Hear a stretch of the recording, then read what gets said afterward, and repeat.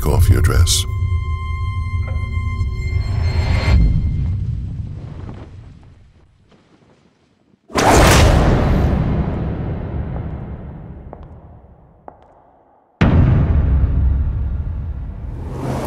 When I was in Moscow, I heard about a program. Young officers trained to seduce and manipulate.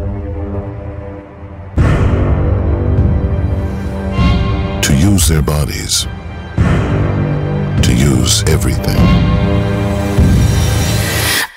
Called her sparrows. That's what she is.